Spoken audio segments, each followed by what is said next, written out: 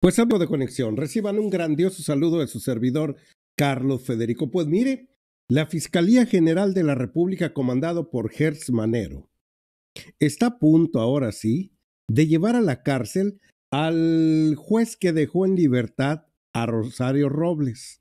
¿Cómo se llama él? Omar Paredes Gorostrieta, algo así. Ahorita le voy a decir el nombre porque ya sabe que al final ellos juntan apellidos y quieren verse de alta alcurnia como López Dóriga, como varios que hay el señor Riva Palacio.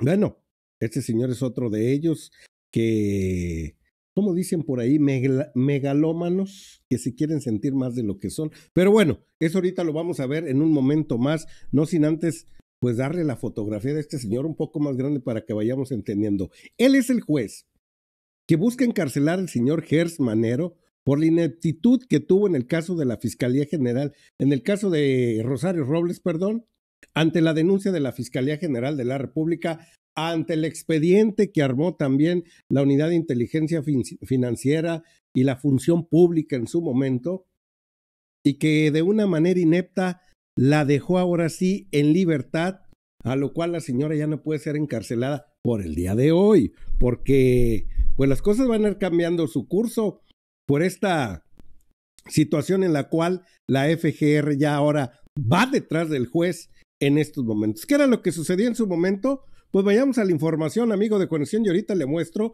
los comunicados que mandó Hertz. La Fiscalía General de la República tomará medidas drásticas contra el juez federal Roberto Mar Paredes Gorostieta Femat. Ese es el apellido que le decía. Gorostieta Femat, dos apellidos aparte del Paredes todavía. Quien absolvió a Rosario Robles del caso de corrupción llamado la estafa maestra. La Fiscalía General de la República presentará una queja administrativa ante el Consejo de la Judicatura Federal contra el juez de control del Centro de Justicia Penal del Reclusorio Sur e iniciará una carpeta de investigación en su contra por delitos contra la administración de la justicia. Pues en unos momentos más, amigo de conexión, ya será interpuesta esta situación y no creo que nada más es denuncia así de una cuestión administrativa. Pretenden meterlo a la cárcel. Dice Kersmanero. Ahora, en el caso de, determinación tomada este día por el juez federal Roberto Mar Paredes Gorostieta y FEMAT del Reclusorio Sur, Sur perdón, de sobreser a favor de Rosario Robles, con la misma se está actuando contra, en contra de la ley y en contra de las constancias de autos, razón por la cual se inicia no solo la queja administrativa, o sea, no, no solo es una, es una queja administrativa, sino el procedimiento penal correspondiente, dijo la FGR a través de un comunicado que se lo voy a presentar aquí en pantalla en este momento. Déjeme, se lo muestro para que no vaya a decir que es cuento. Mire, Ahí va el primero que mandaba la Fiscalía General de la República en su momento, donde decía, la bueno, vamos a, a, mandar el que le acabo de decir primero. Ahí lo tiene en pantalla en este momento. Déjeme, se lo pongo aquí. Dice, respecto a la resolución de un, de un juez federal sobre el proceso de Rosario Robles, esta Fiscalía interpondrá una queja y procederá penalmente. ¿Qué significa penalmente? Que puede haber cárcel. Como corresponde en breve, más información. Y el de la parte de atrás, ese también es muy importante al respecto. Dice, la determinación del juez federal de sobreser la causa a favor de Rosario Robles es contraria a la ley. La FGR inicia queja administrativa de procedimiento penal, lo vuelve a decir una vez más, o sea, de cárcel. No se puede permitir violación a lo elemental y manda ese comunicado que se llevó en su momento por esa situación. ¿Qué era lo que sucedía en realidad en su momento? Le muestro, amigo de conexión, para que quede usted mejor enterado al respecto de esta situación en la cual la FGR recuerda que ese criterio fue aplicado ya y ratificado hasta ahora en el caso de los jueces de control de Felipe Jesús Delgadillo Padierna y Ganter Alejandro Villar Ceballos, además de la magistrada Michelle Franco González, que también están metidos en este enrollo. En este mismo sucedió apenas el pasado primero de febrero, en el caso de la estafa maestra, en la cual Rosario Robles, no hay que olvidar, que trianguló recursos por cerca de 7 mil millones de pesos. Sí, sí, 7 mil millones de pesos nada más. Y algo más. ¿Qué hacía Rosario Robles en su momento cuando fue encargada de Sol en aquel momento?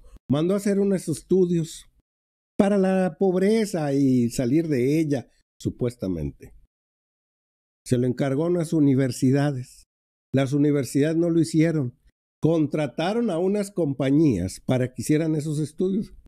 Resulta que esas compañías resultaron ser fantasmas, fachada, como decía en su momento el encargado de la unidad de inteligencia financiera en aquel momento, el señor Santiago Nieto, así le llamaba, empresas fachadas, o sea, no existían, cuando fueron a buscarlas no existían.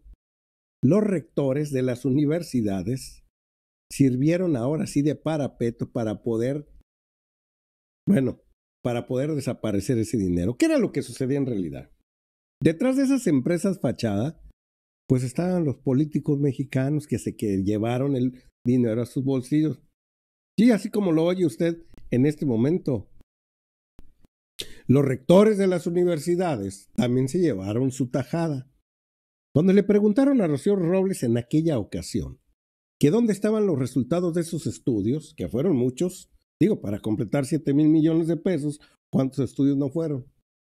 Ella dijo que los resultados no se los habían dado y que si no estaban en sus manos, pues que acudieran a las instancias penales, a las instancias investigadoras necesarias, como la PGR en aquella ocasión, o la Fiscalía, o la Función Pública, y que pues allá ellos investigaran que su papel no era denunciarse, simple y sencillamente ella mandó a hacerlo, no se los entregaron nunca, pues que ella no sabía. Ese dinero fue a parar, vuelvo a repetir, a empresarios y políticos mexicanos. No lo dudo ni tantito que por ahí ande Claudio X González. Más de 7 mil millones de pesos. Vuelvo a repetir, parte para los rectores y por supuesto, pues que la que mandó a hacer el trabajo, ¿usted cree que no tenga por ahí bajo el colchón o, o, bueno, usted ya imagínese el O que quiero decir en este momento. Pues así triangularon esos recursos. También a través de la cruzada contra el hambre hicieron grandes estafas en las cuales pues supuestamente llevaban a las comunidades más desprotegidas de México y olvidadas, llevaban recursos económicos, pero eran allá esporádicos, pero ellos argumentaban que era demasiado dinero. El presidente de la República, Andrés Manuel López Obrador, les manda a través de una tarjeta una ayuda social a cada uno de ellos, el cual si les llega cada mes y a cada uno de los necesitados de este país, con lo cual ellos pueden comprar ahora sí provisiones, pues para mitigar un poco esa pobreza en la cual viven o el abandono en el cual viven por allá en esas comunidades. Estos señores no lo usaban de manera electoral. Fotografías, videos, iban todos los medios de comunicación por ahí eh, para llevar esa información y luego desaparecía todo la indumentaria y el parapeto que hacían esta bola de sinvergüenzas en esos lugares. Por eso, por el día de hoy, la situación se le pone adversa a esta señora Rosario Robles, en la cual ella piensa que ya triunfó, pero no. Todavía hay instancias en las cuales se puede apelar esta resolución y en la cual posiblemente el señor juez, ministro que le voy a presentar aquí en pantalla una vez más, pues puede llevar, puede ser llevado a la cárcel. Y chequemos una vez más qué era la estafa maestra en su momento. ¿Y por qué ocurrieron estas cosas? Pues ahí dice, este viernes un juez federal adscrito al reclusorio sur absolvió a Rosario Robles, la exsecretaria de Desarrollo Social, del proceso penal que se seguía en su contra por el desvío de recursos millonarios en el que se vieron involucrados universidades públicas. Se reportó que el juez Paredes aplicó el principio pro personae y, sub, y sobreselló, y perdón, el caso penal y absolvió a la exsecretaria por el delito del ejercicio indebido del servicio público que se le imputó en el año 2019 por la FGR, por lo cual Rosario Robles permaneció tres años en prisión preventiva. Así quedó en prisión preventiva en su momento. ¿Cuáles van a ser las repercusiones el día de hoy que Andrés Manuel López Obrador ya nos diga cuáles son sus impresiones? Creo que hoy no va a poder, porque hoy andan gira allá por Quintana Roo, pero estoy seguro que hasta el lunes, pasado mañana, usted los verá o mañana ahí en la mañanera. Pues hoy salió sonriendo la señora Chayo Roble, Chayito Roble, que le llamaban, bueno, ya no voy a decir cómo le llamaban dentro del reclusorio, no era nada agradable la situación en la cual vivía, pues ya lo ven ahí, esta cachetoncita salió en su momento muy repuestita, dicen muchos por allí. Pues ahí ve la situación. Hoy sonríe, ahí sonríe, pero dicen que el que ríe al último ríe mejor.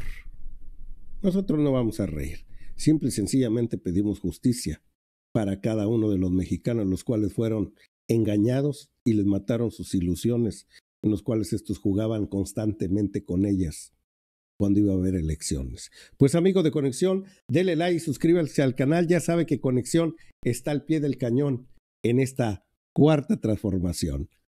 Vámonos riendo, amigos.